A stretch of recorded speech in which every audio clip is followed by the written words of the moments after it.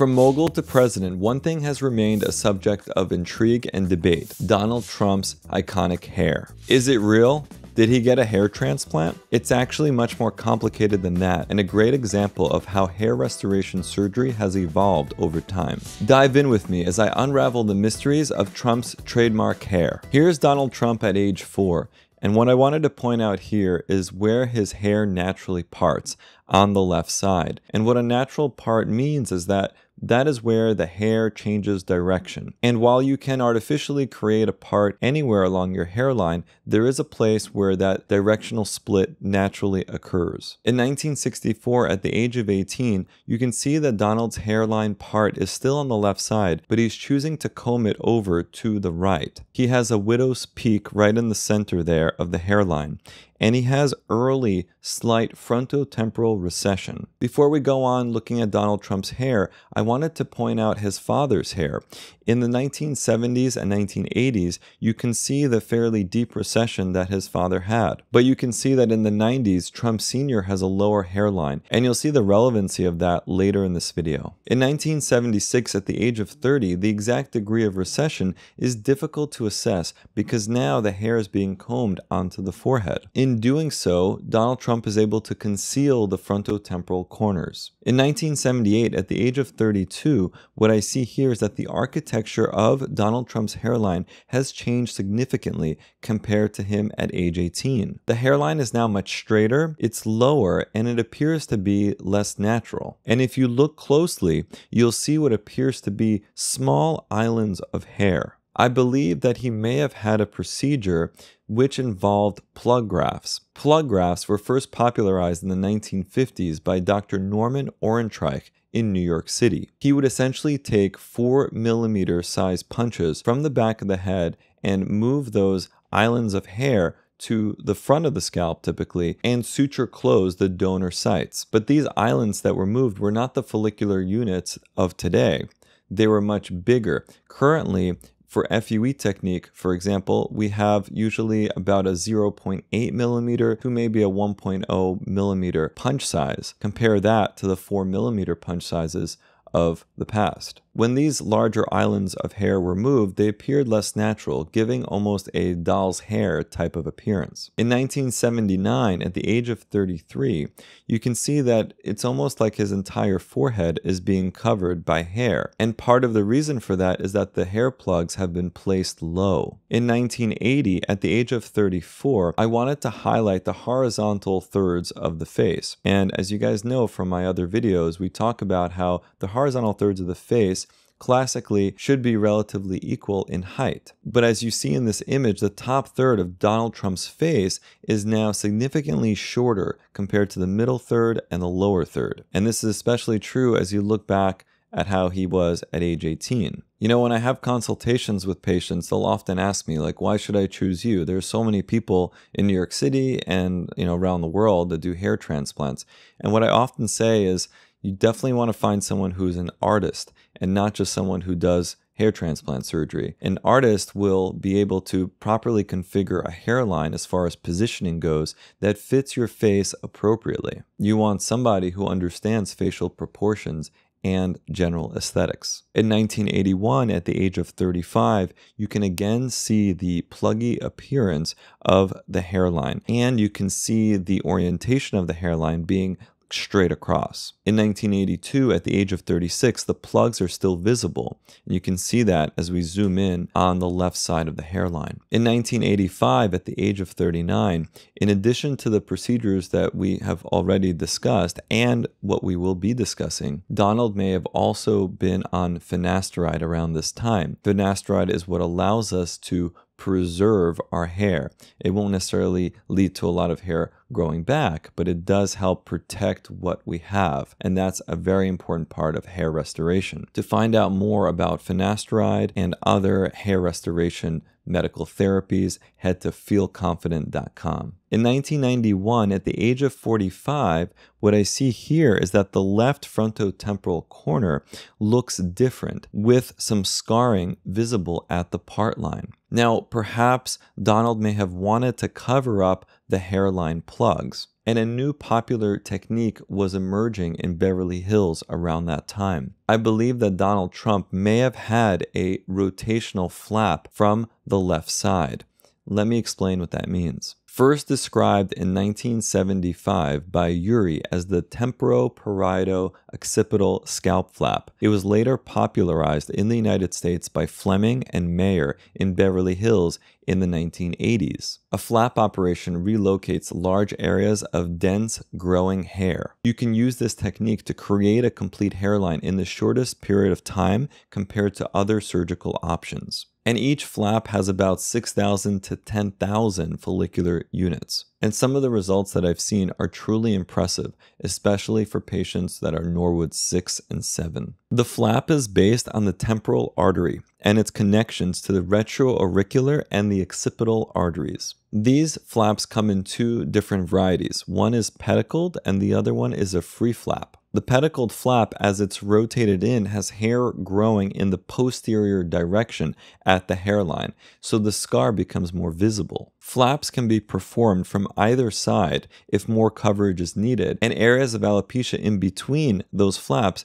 can be removed and this is what's called a scalp reduction. And some people online have speculated that Donald Trump may have had a scalp reduction, but I believe that it was most likely in combination with one of these flap procedures. The risks of these rotational flaps are poor scarring and potential flap necrosis, which occurs at least partially in 4 to 5% of cases, even in expert hands. So these bigger procedures do have bigger risks. In 1992, at the age of 46, even though Donald may have brought in a fresh supply of hair to the hairline, he's still combing it down, and this might be to hide the scar. Also notice here that the hairline height has been further lowered, shrinking down the upper third even more. Going back to Donald Trump's father, you can see that he may have had a similar procedure around this same time. And notice the scar at his hairline, as the flap was most likely pedicled, therefore giving it the posterior direction of hair growth,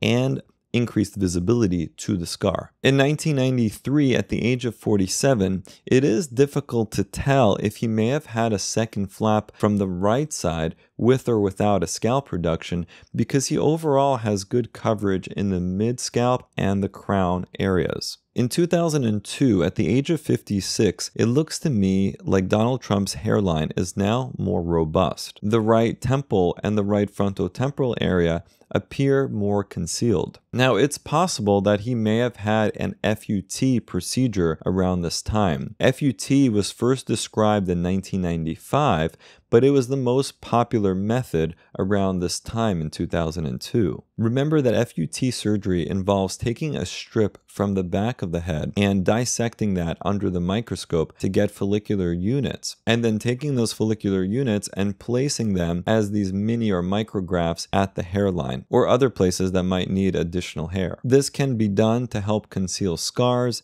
and also to increase the overall density of an area. In 2003, at the age of 57, you can see the significant boost to Donald's hairline, but also the forehead is now nearly completely covered by hair. In 2004, at the age of 58, what I see here is that when you look at the posterior perspective on the left hand side, there is a scar pattern that's consistent with the rotational flap that I previously described. As we superimpose a rotational flap design onto what we're seeing here with Donald Trump's hair, you can start to appreciate that perhaps this is where the flap originated. In 2009, at the age of 63, I'm starting to see some frontal scalp thinning. And again, given that the hair is being combed posterior and it's covering up a lot of the mid scalp and crown, it's more difficult to assess those areas. In 2011, at the age of 65, the frontal scalp again is starting to look more full. And it's possible that he may have had an FUE surgery around this time. FUE surgery involves taking out hair from the back of the scalp,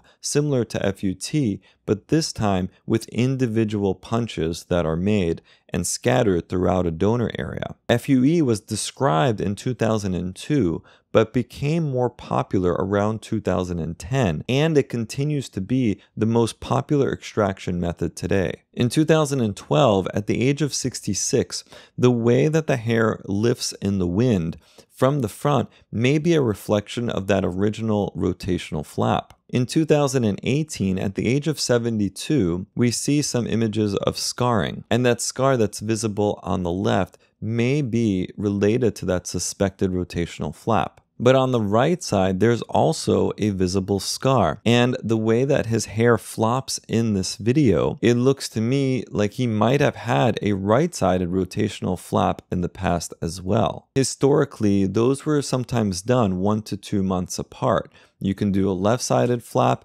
for the more anterior portion of the hairline, and then after a few months, a flap from the contralateral side was used further back to add further density to the frontal and mid scalp. And then the area in between those two flaps was further reduced with a scalp reduction procedure. And this can all help explain the complex combing that's involved in getting Donald Trump's hair to look the way that it usually does. So, to summarize the potential procedures that I think Donald Trump may have had on his hair, let's start with punch grafts in the 1970s, followed by a left rotational flap in around 1991, with a subsequent possible right sided rotational flap around the same time. Then an FUT procedure in 2002 and an FUE procedure in 2011. Now you see what I meant by this is a complex case. And now let's go over some takeaway lessons from this case study. Even people who become presidents are bothered by hair loss. Recreating natural hairlines is key to long term successful outcomes. And I have a video on how I like to create natural hairlines for my patients,